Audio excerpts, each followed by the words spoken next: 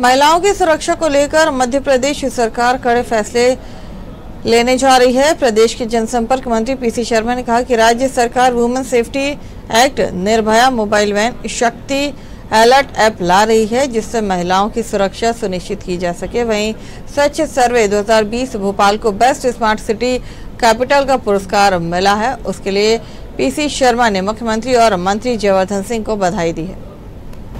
महिलाओं की सुरक्षा के लिए जो एक आज वातावरण पूरे देश में बना है, उस वुमेन